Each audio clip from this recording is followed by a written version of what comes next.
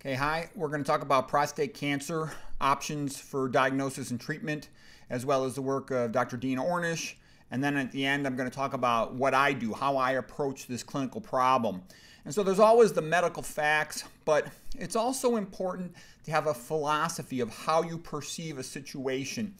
And that's actually one of the most important things. We'll talk about that a little bit as well, so that what you really want is optimal care. There's always a standard of care that's available to everyone, but an intelligent patient, you should seek optimal care because you want optimal results. All right, for the average guy, here's what typically happens. He just did a routine checkup, or for whatever the reason, he decides to check his PSA, prostate specific antigen, and it comes back a little high. He's referred to a urologist. He's worried, okay, because he knows that could mean he has prostate cancer. The urologist will typically perform a random biopsy. So there's, they call it a sextant. There's six spots, you know, the right and left, upper, middle, lower. So they'll take two specimens out of each one with an 18 gauge, or they're not even sure the size of the core biopsy these days, but a core biopsy sextant is taken from the prostate. It's called a random biopsy because they just randomly biopsy those six locations. Um, they'll do two cores in each one, 12 specimens in total. And there's a risk of some injury to some of the nerves and the tissue in the prostate just with the biopsy.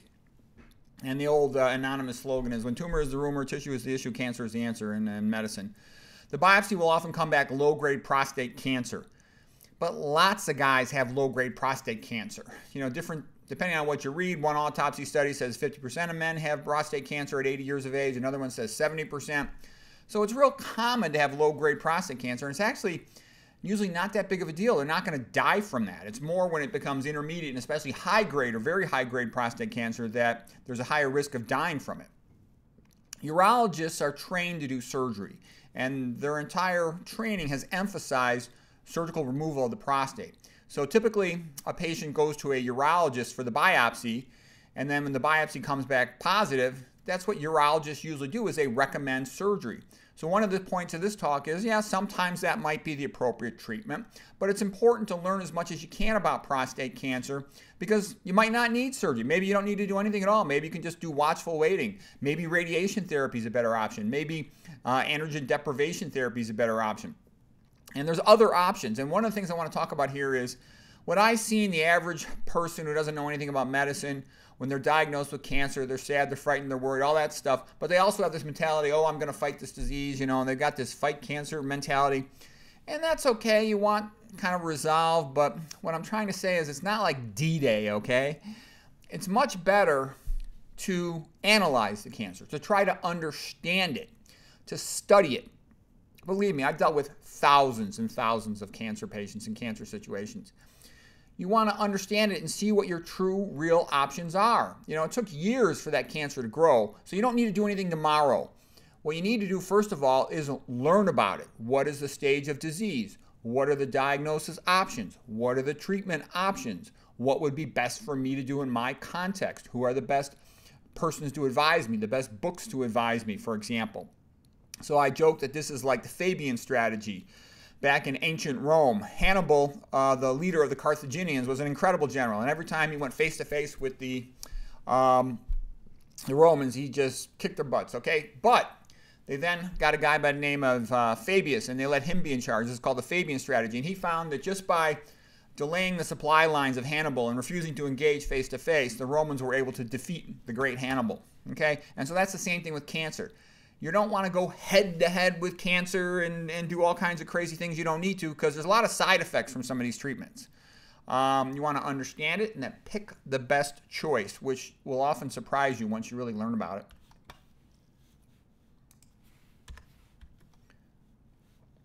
Okay, so we're going to talk a little bit here about how do you stage cancer. Anytime you get a cancer, you want to know what you're dealing with. So first of all, the PSA, prostate-specific antigen, is a blood test, and it can be up for other reasons. It can be elevated after sex, after digital re rectal exam.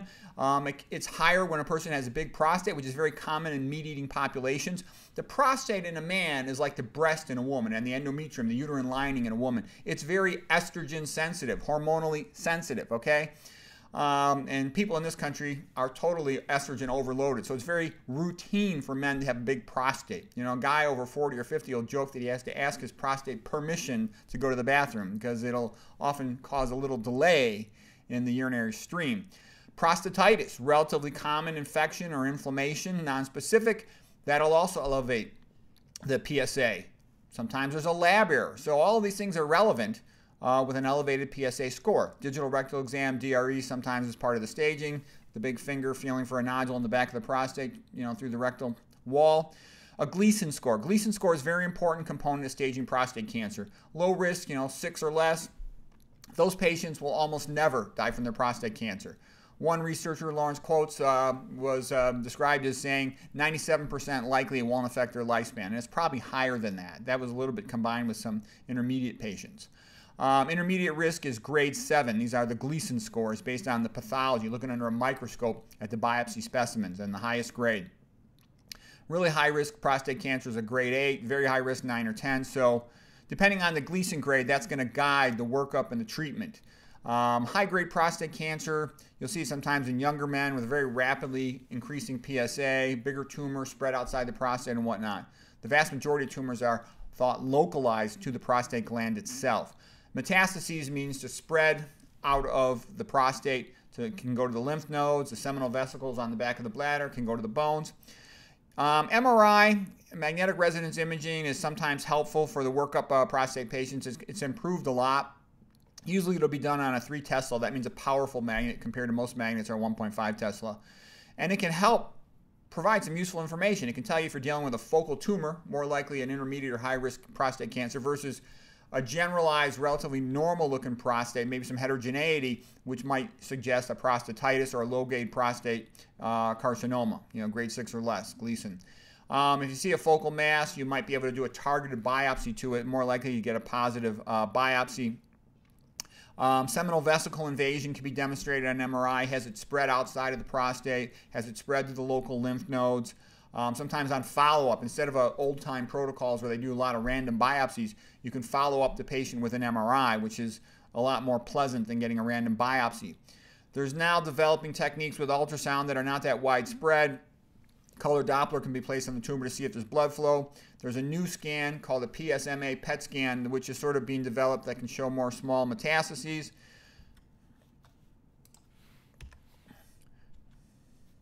Okay, now sort of a new thing. In the past, it used to be almost entirely prostate cancer managed by urologists, but now there's some other doctor specialties that are helping out with prostate cancer. Um, in particular, there's some oncologists that have uh, more and more experience treating prostate cancer.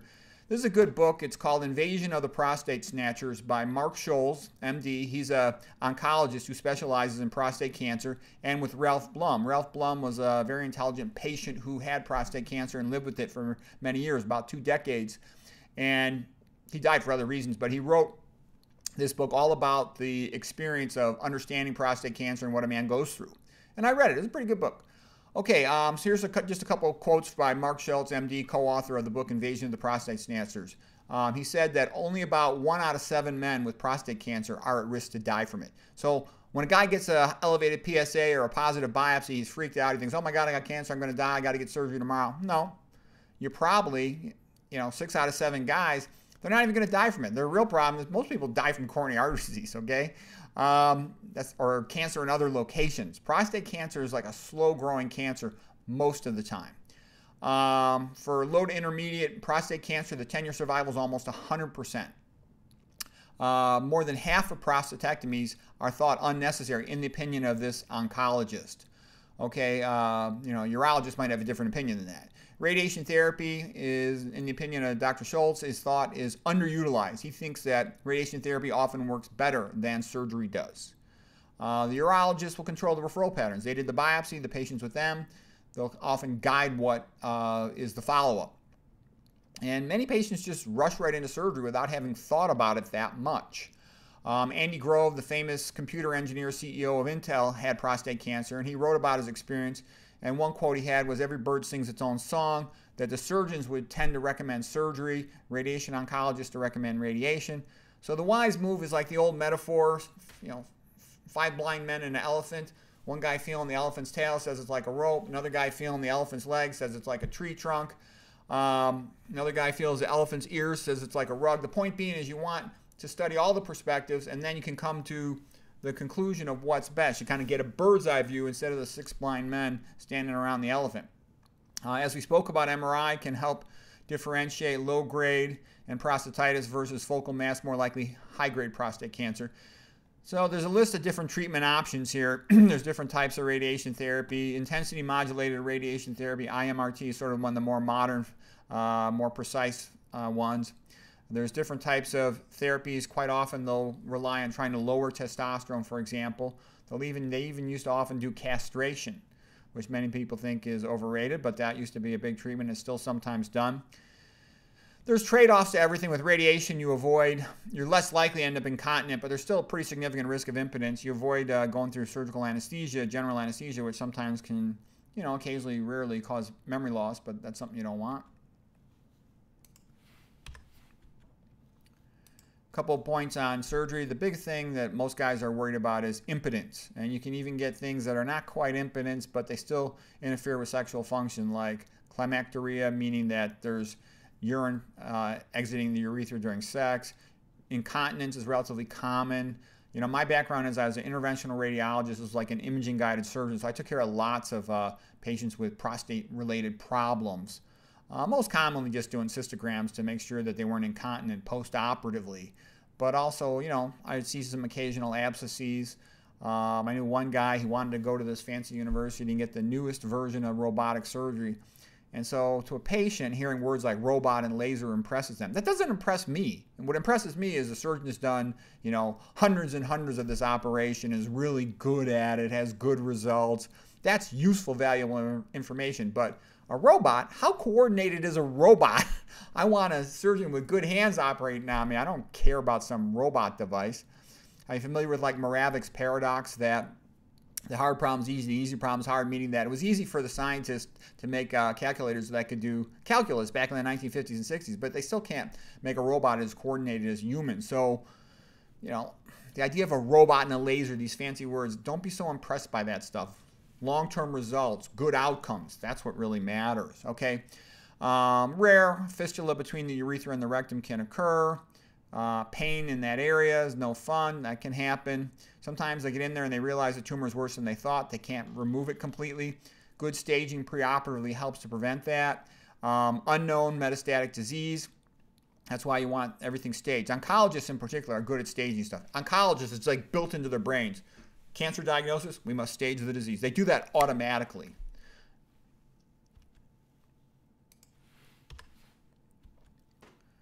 Okay, um, epidemiology and the research study of Dr. Dean Ornish. Okay, first of all, a little epidemiology. Back in about 1957, I heard this in a lecture with Dr. Caldwell Esselstyn. There was only about 18 cancer deaths from prostate cancer in Japan. Okay, that's an incredibly low number, incredibly low. And the Japanese, they're pretty healthy in a sense that they had relatively low cholesterol, but Japanese are smoking a lot of cigarettes eating tons of salt, some of them up to 20 grams a day. So even if you're smoking a lot, um, if you don't simultaneously have a high cholesterol, you'll often have a lower cancer incidence. The salt gave them a lot of gastric cancer, but the point I'm saying is those are incredible numbers.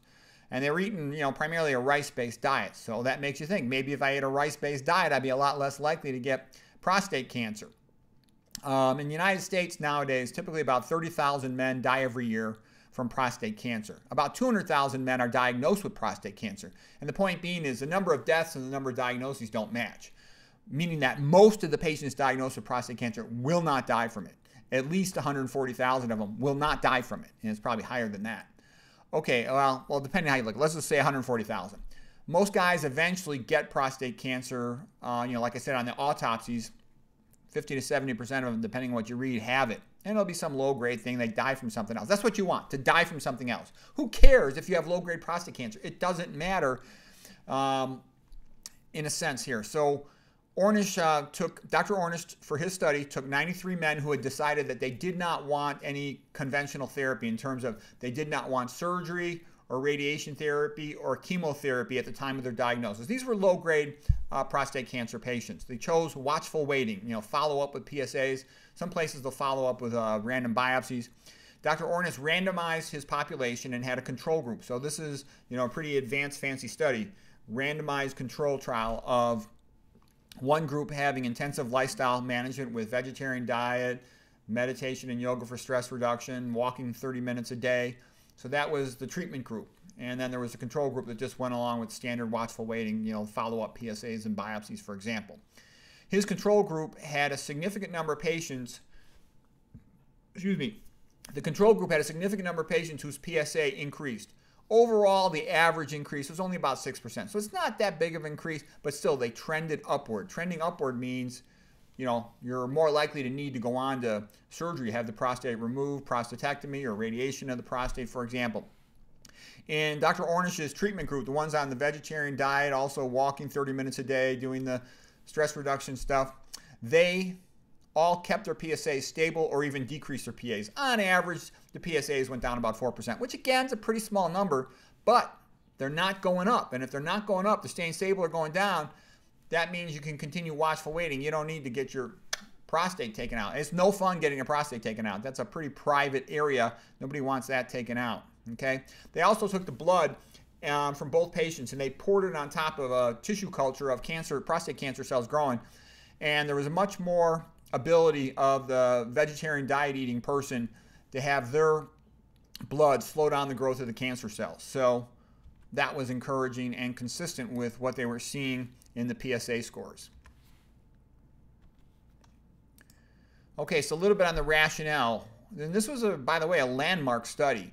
Um, I got the reference, I think, at the end of this paper. Uh, low-grade prostate cancer in general is a slow-growing tumor. Um, we've known from the work of T. Colin Campbell and his great book, The China Study, you want to avoid animal protein. Animal protein is a tumor promoter for numerous reasons. Increased leucine activates mTOR, increased methionine, essential amino acid for, for uh, cancer, increased casein, that's known to be uh, increase the rate of cancer growth, um, elevates uh, insulin-like growth factor. Also, meat comes packaged in saturated fat, which is associated with obesity. Increased obesity, the fat has increased aromatase enzyme to convert testosterone into estrogen. Increased estrogen is associated with increased prostate cancer. So, you know, meat's a disaster for a prostate cancer patient. You don't want to eat one more bite. You're done. No more meat the rest of your life, okay? Now, a lot of people that don't know anything about medicine and health, they're going to tell you everything in moderation or I eat a little fish and chicken instead of beef. No, no meat, not one bite. And you can say, well, you know, you can do whatever you want. I'm just saying, if you want good results, if you want to live longer, be healthier, um, the smart move is never again take one more bite of meat, including not a sip of dairy or any dairy. All right. Vegetarian foods provide better blood flow to the tissues, more oxygen to the tissues. Better oxygenation of tissues helps decrease the likelihood of cancer growth, according to the Warburg experiments. Okay, the plant based foods are more alkaline.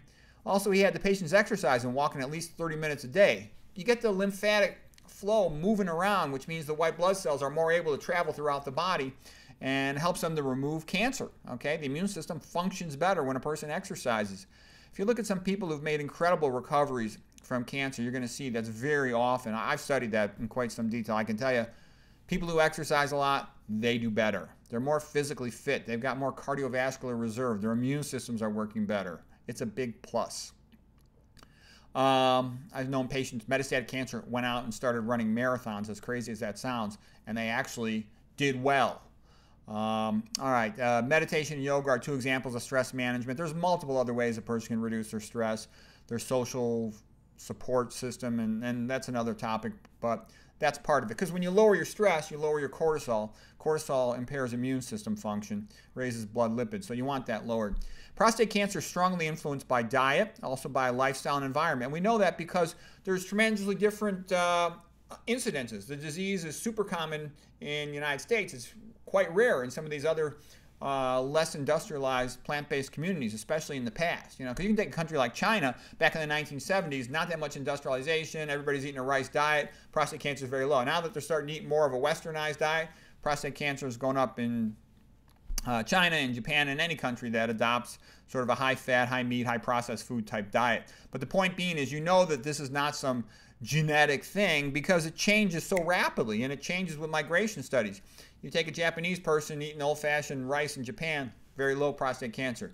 But they move to Hawaii, start eating more meat and oils and processed food, more prostate cancer. Then they move to the States and they start eating a lot more of the same stuff, more prostate cancer.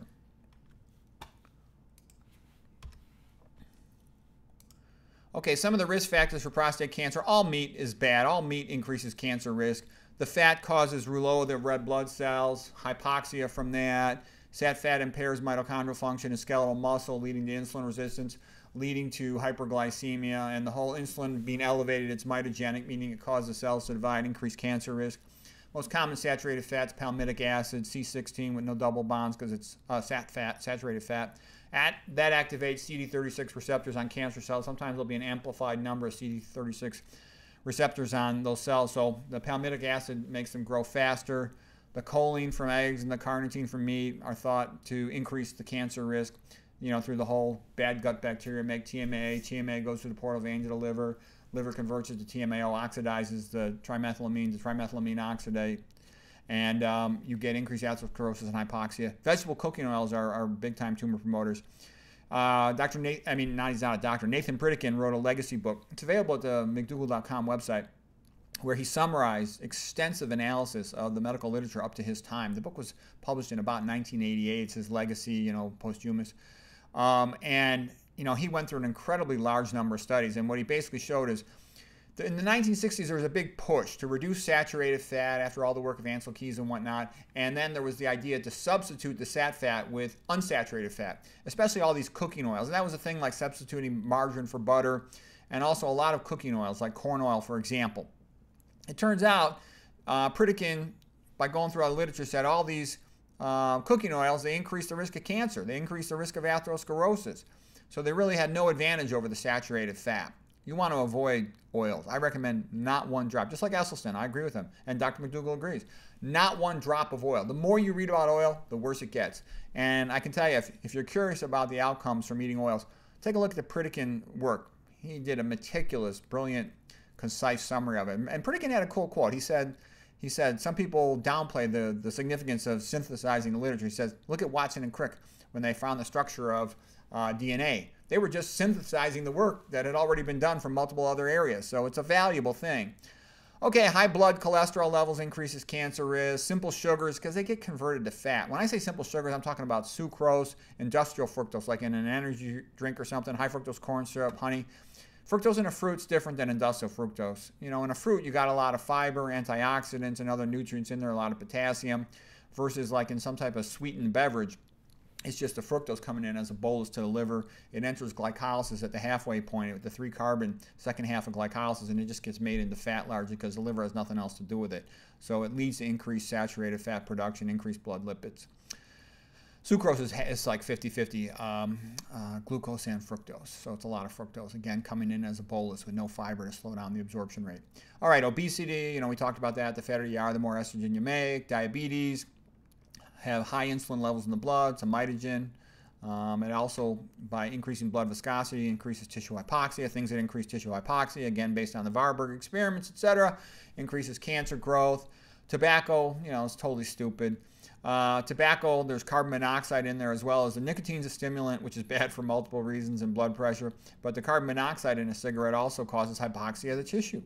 Okay?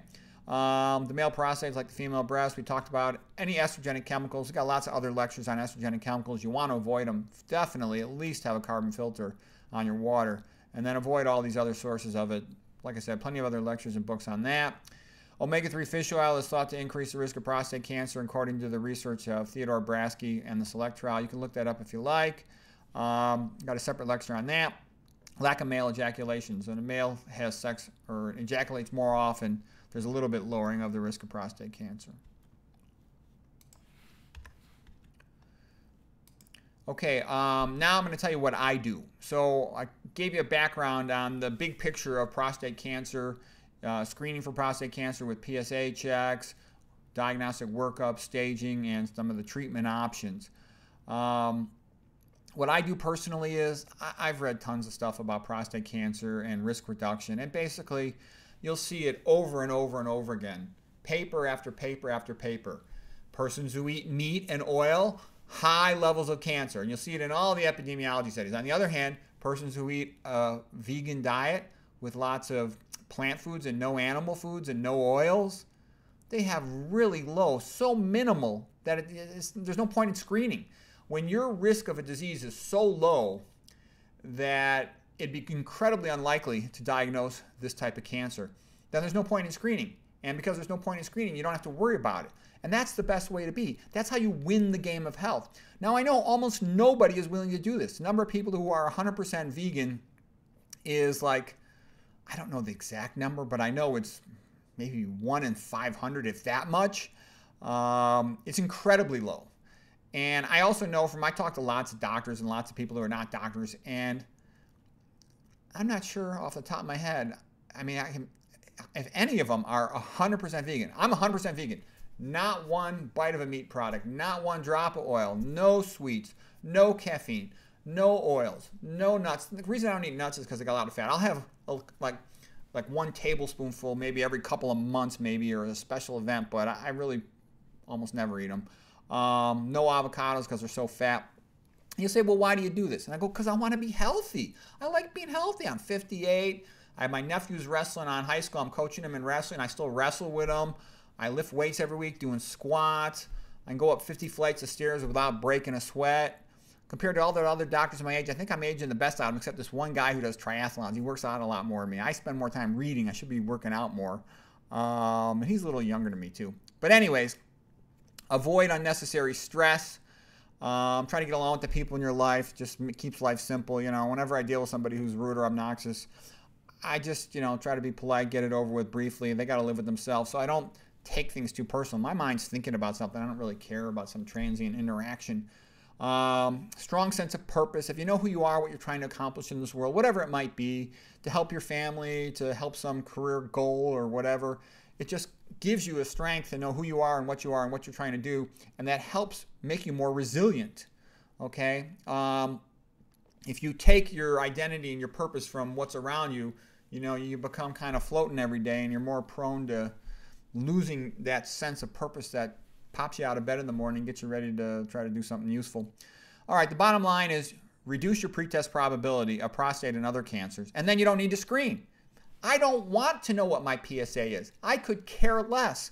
I know I'm about as low a risk as any man my age in the entire world. So why would I want to check a test where with a, such a low pretest probability, I'm far more likely to have a false positive and potentially get trapped into some unnecessary workup that I don't want, have the stress of worrying about it, okay? My total cholesterol is 93, LDL 53, triglycerides 85. So, you know, I got a lower risk than a Japanese guy back in 1957, okay? It's not even funny. So that's what you want. That's how you win the game of health, okay? And you're going to talk to all these stupid people who are going to tell you, oh, I believe everything in moderation. Instead of beef, I eat fish and chicken. You know, they don't know anything. person who talks that way is somebody who doesn't know anything about nutrition and cancer risk. You look at the smartest doctors, look at McDougall, look at other ones who've really studied this. They're going to tell you this zero animal products, zero oil. You know, health knowledge is not like social knowledge, go with the flow, when in Rome, do as the Romans do. Health knowledge is I'm only going to do things that are good for me, I'm going to avoid anything that's bad for me. You should view animal foods as poisons. Don't go near them, okay? Cancer and animal foods, they go together, and oil's the same thing. Um, and I believe that from what I've read, you really want to minimize your dietary intake of fat. Increased total fat of any kind increases cancer risk, okay? Um, I don't like excess sodium because it's a vasoconstrictor, decreases blood flow. What did Warburg say? When you decrease blood flow, making tissue hypoxic, you increase cancer risk. So I don't want to do anything. I want to optimize blood flow all the time. All right, so that's basically how you can win the game. Because the same diet that prevents dramatically lowers your risk of prostate cancer. It dramatically lowers your risk of myocardial infarction. It dramatically lowers your risk of diabetes, of hypertension, of stroke, of impotence, of all that stuff you don't want. They're all kind of almost like manifestations of the same condition a high fat diet and a high animal protein diet, pushing a body towards rapid replication of cells, which also pushes you towards the Hayflick limit and accelerated aging.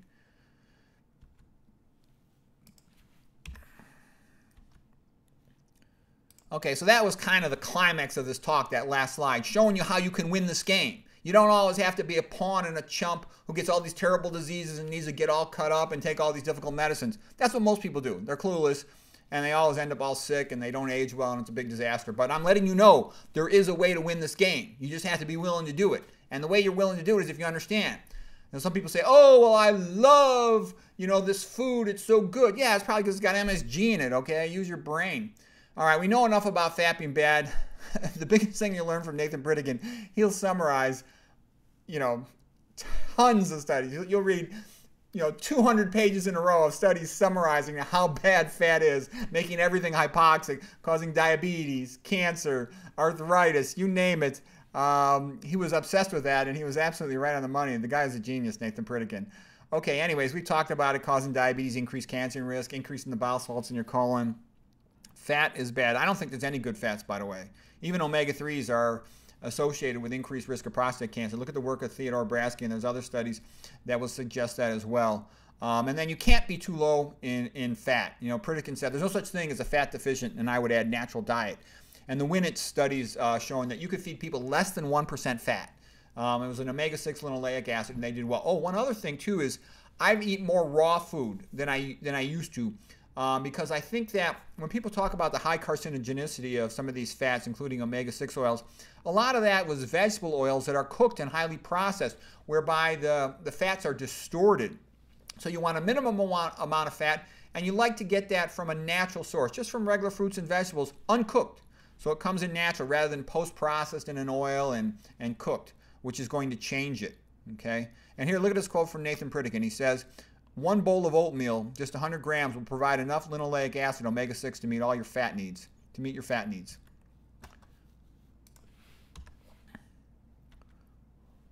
And he's probably basing that on the Winnet studies and the McKean studies where they fed people, like I said, total fat, only 0.7% of their diet metabolically defined uh, diets. Okay, simple sugars are bad. We talked about that because they end up leading to increased lipids. Starch is the best because it takes a lot of time for your gut to peel the fiber off the glucose. And starch is a polymer of glucose. It's not the same as sucrose. Sucrose is fructose and glucose.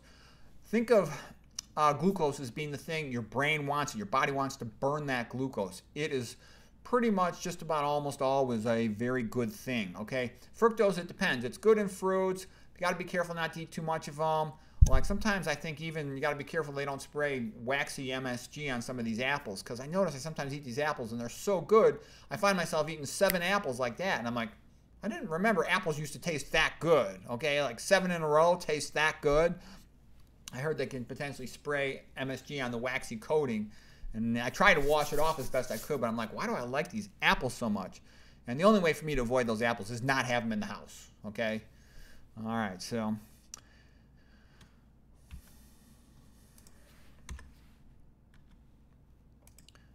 tons and tons of studies have shown fruits and vegetables lower cancer risk, all cancer risks, that you know, tons of different cancers, colon cancer, prostate cancer, breast cancer, pancreas cancer, you name it.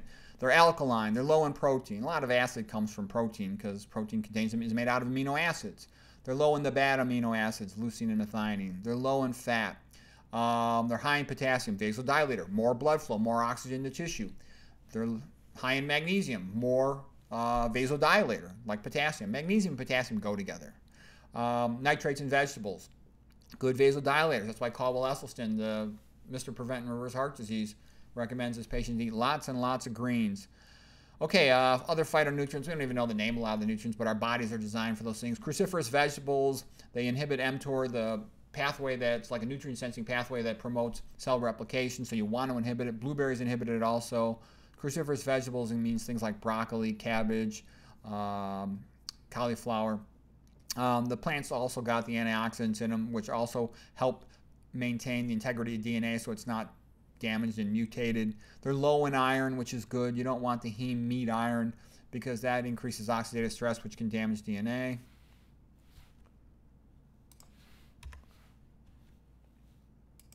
We're almost done here. Just a couple little points here. Uh, starches are good. Like we said, they're the best food to get the vast majority of your calories for energy. A couple things I wondered about. Beans are high in protein, about 25% protein, which is quite high for a plant food. It's like one of the highest you'll ever see in a plant food. Versus a meat are very often like 50% protein. Okay, but the beans tend to be low in methionine. But if I had cancer, I would probably reduce my intake of beans because that scares me. I would pro- I would still eat some, but I would it would definitely wouldn't be as big a staple of my diet if I was really worried about lowering my protein intake. Um, I would also minimize my fat intake. Oatmeal is about 16% fat. Quinoa in the ballpark of 14% fat, which is a little high on the fat side for grains. Grains tend to be a little bit acidic, not bad, but it's also been shown in a lot of studies. I read a whole bunch of studies that grains and beans were associated with less risk of cancer um, and better outcomes in cancer patients. So having a healthy diet and exercising and having some form of stress reduction, they're all part of optimizing outcomes in cancer patients. You know, there's a lot to it, but those are key things. And preventing, I want to prevent cancer. You don't want to get cancer. Um, and, oh, and secondarily, when I say prevent cancer, I mean prevent clinically significant cancer. You can't completely prevent cancer. Everybody's got cancer cells in their body. You just keep your immune system healthy and functional so that it suppresses the cancer, doesn't let it grow. And that's what you want. Um, the best starch, I think, is potatoes. Sweet potatoes are essentially equal to potatoes in my mind. Rice is equal quality of a food by itself, but there's the arsenic issue, which we've talked about in other lectures. Carrots are good. Beans are good, except a little high in protein, as we spoke about. Grains are good, but a little acidic, moderately high in protein. Um, be careful that the grains aren't old and moldy. They can get this zia, which is a, it's like something like that. The pronunciation of the point being is it's this estrogen that grows in the mold. So if you see uh, grains that look old, don't eat them. Uh, patients on a very low fat, moderately high fiber diet, you know, they just get better outcomes. Patient and social support groups get better outcomes. They help lower each other's stress, you know. Uh, they get that sense of belonging and acceptance that makes a person healthier. Um, some case reports of patients doing well with the macrobiotic diet. Um, this guy, Gordon Saxe, did several studies. The first one for four months, the second one for 14 months. He took men who had a biochemical recurrence of prostate cancer. Biochemical recurrence means they took out their prostate, Initially, they thought they were cured of prostate cancer, but then their PSA started going up, suggesting that there was a metastatic component to the disease outside of the prostate. Metastases means outside of the site of origin. And so that's called a biochemical recurrence of prostate carcinoma. And these patients, he gave them this uh, plant based diet. He also did stress reduction as part of his uh, therapy and they had increased survival. It slowed down the rate of doubling time, a significant amount, you know, from 6.5 months to 17.7 in one group, and in the six month study, even longer, from 12 months to 112 months. So that's pretty incredible results. I got the reference to these at the end of this uh, lecture here. I'll have a slide with that.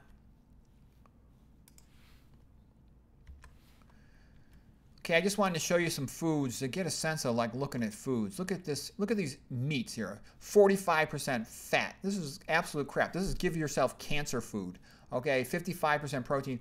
Animal protein and animal fat, they're both carcinogenic. You don't want to touch any of this stuff. Stay away from it. Look at these numbers. Look at this salmon, 50-50. You know, these are terrible foods. Run, be afraid. Okay, look at potato. 1% of calories from fat that's low fat. Okay, like we said, people do fine on that, and people have been putting metabolic wards for six months and only eating potatoes. They come out feeling better than ever. All right, protein really low, only eight percent protein, incredibly low numbers. All right, uh, you want high carbohydrates. You want high complex carbohydrates. All right, I think potatoes is the best food in the world. Potatoes and sweet potatoes. Rice was up there, but you know here we're looking at white rice here.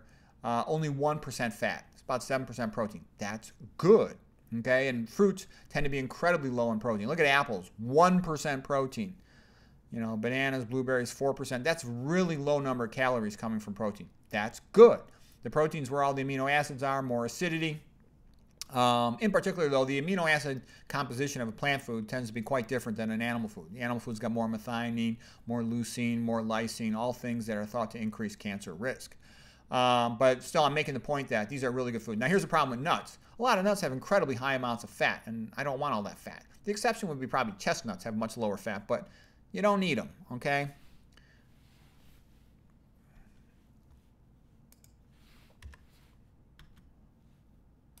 Now, here's just a little bit of additional information because people sometimes ask, well, how can you get enough essential fatty acids? Your uh, essential fats are your omega-3 uh, linolenic acid and your omega-6 linoleic acid. And the point I'm making is they're in plant foods. That's where the fish gets them from.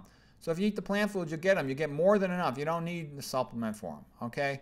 Um, and that's also the why I do eat raw food. Though I, I think it's it's I I don't want to only eat cooked starch. Okay. You know, some people will say, oh, you can eat as much as 90% of your calories. Yeah. Well, you know what? You should also eat some raw foods. And never the vegetable oils. And again, vegetable oils are worse what I'm trying to say is omega 6, I think, has gotten a worse reputation than it deserves because a lot of the research testing omega 6s was done with oils where the thing was already processed and it distorts the structure of it. versus a small amount of omega 6s, omega 3s, and plant foods are more than enough for what we need. And coming from a raw plant food, um, they keep you healthy. And a lot of some of the best looking, healthiest elderly people I've ever seen, they will swear by eating a lot of raw fruits and vegetables. And look at um, Ruth Heidrich, the incredible marathoner lady who recovered from breast cancer. She eats tons of raw foods. Look at Annette Larkin, you know, the most beautiful grandma in the world. Okay, she eats tons of raw food. And I, I um, as I read about it, I think there's a reason why you want to make sure you get that salad every day and some fruit, other fruits and vegetables because there's good things about it. Okay, and here's just a summary of some of the references from this uh, lecture here.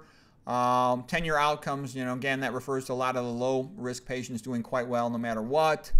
Um, so there's no point in be aggressively treating a real low-risk cancer if the guy's, you know, going to die of something else in the next 10 or 15 years. Invasion of the Prostate Snatchers is a good book by Mark Scholz, MD, and Ralph Blum, uh, just from this past year, so it's quite up to date. It's like a, you know, it's been a revised edition, so it's quite up to date. It's good.